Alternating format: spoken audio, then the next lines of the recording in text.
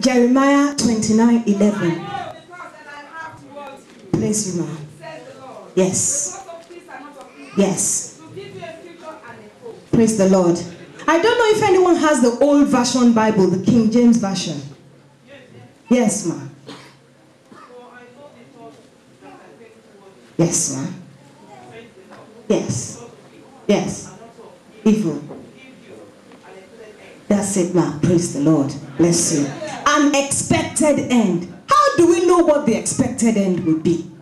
You see, the key is what um, the Mother Celestial was saying. I know she was saying it from another. Sometimes in my quiet moment, I think she helped God along.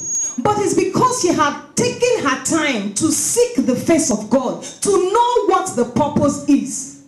If you look at that Genesis 25 22, when the babies were kicking and were kicking, she didn't just go and use paracetamol.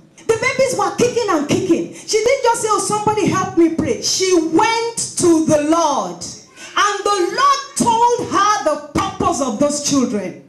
And so when the father, who did not hear from the Lord, but what loved a son because of meat, decided to pray for the boy, he said, Ah, God told me. What she should have done was submit to the Lord, to the Father, and say, "You know, this is what God said," and so they would have built it up together.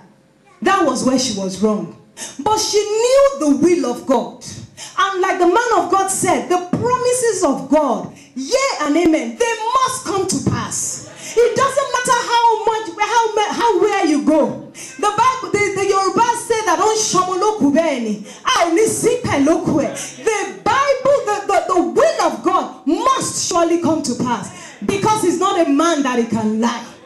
He's not the son of man that he can repent. God said it concerning you in prophecy? Has God said it concerning you in the dream?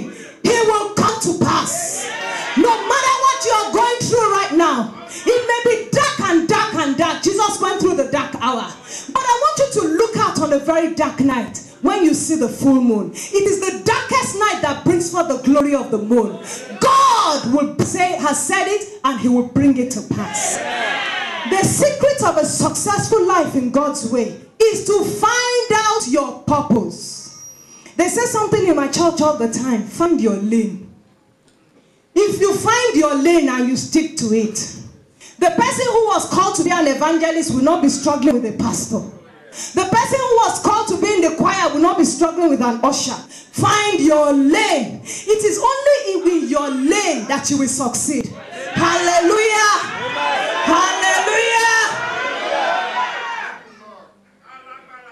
Success, God's way, is knowing your destiny and walking towards it.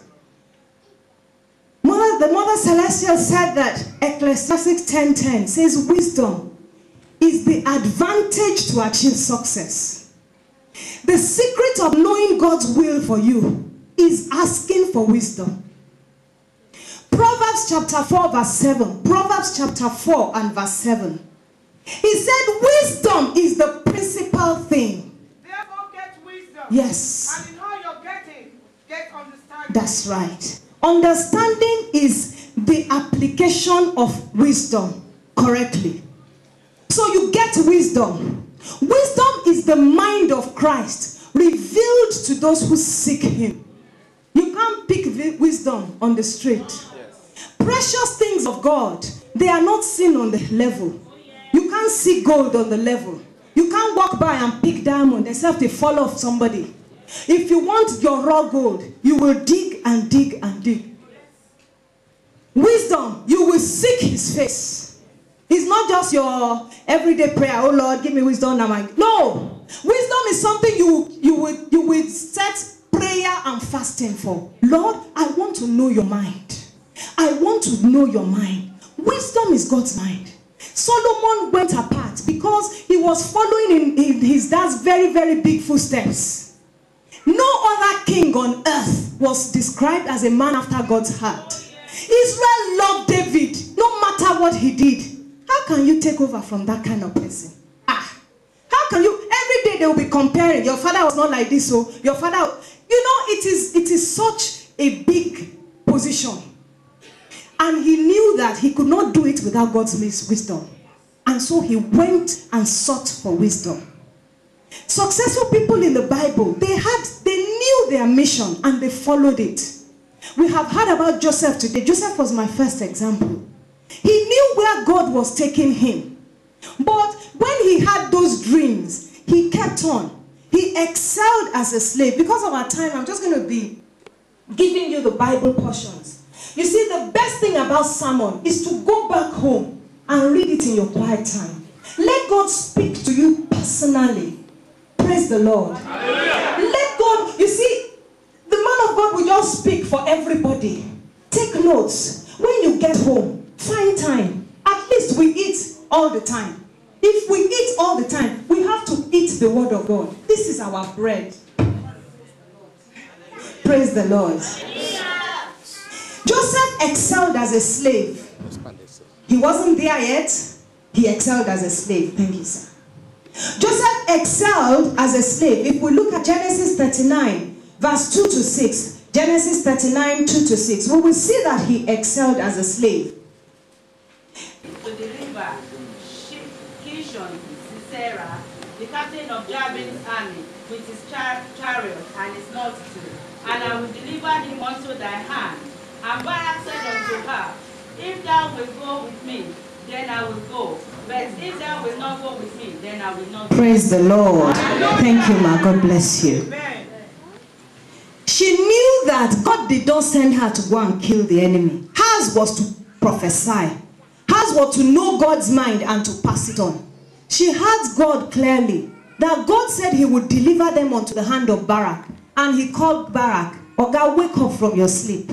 Israel had been struggling under Sisera for 12 years. And God has said this. If God has said it, he will equip you. Get up. But Barak was fearful. God help us from some fearful men. Amen. I know the men in this church, they hold up themselves and they are men and they are men and they are not mouses in Jesus' name. Barak was fearful. And he tried to push her into something that God did not ask her to do. You know, sometimes we know God's will for us. Our own is to help. But sometimes the men will just leave their own responsibility. And so you take it up. No. Your success is to push the man to do what God wants him to do. The Lord said he's the head and not the tail. So you know there's some men that they don't really want you do it. You know, don't do it. Oga, it's you that God gave. You do it. I will support you. Praise the Lord. Deborah found her lane and stuck to it. Even when Barak said, Oh, I know God said, but you go with me. She knew that it was not her that God asked to kill Sisera. Even though God's will was compromised, it was not Deborah that killed that Sisera. She used another woman, Jael. It was not her. So that she came to God and said, God, I found my lane. I followed my lane. And she was successful. Praise the Lord. Another woman who was successful in the Bible was Esther. Her success was not that she became the queen. Praise the Lord. That was just the part of her journey. You know, the, the way I know this is that in Esther chapter 4, Esther chapter 4,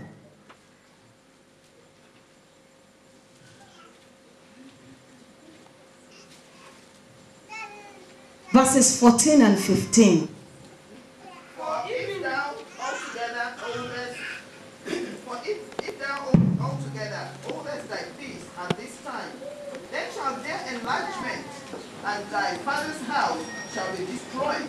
And who knoweth whether thou art come to the kingdom for such a time as this? Praise the Lord. God bless you, man. God just positioned her as queen to make her, to give her mouth. Amen. So sometimes our wealth, our riches, our fame, our position is not the success per se. It is to, to fulfill God's will in our lives. So whatever God gives to us, let us search his wisdom. Why did you give me this? Why did you make me director in this local authority? Why did you do this? Why did you because there is always a purpose. And brethren, the purpose is not physical. The purpose is always to bring glory to God. It's always to help somebody else. Esther's success was not in being queen. Esther's success is is is being able to deliver the people.